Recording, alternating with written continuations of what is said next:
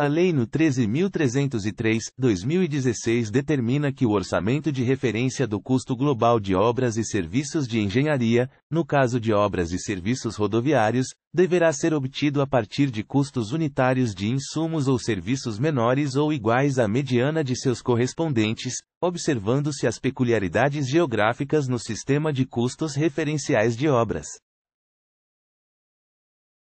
Analisando a questão, você responde verdadeiro ou falso. O gabarito é verdadeiro. Artigo 31, parágrafo 2.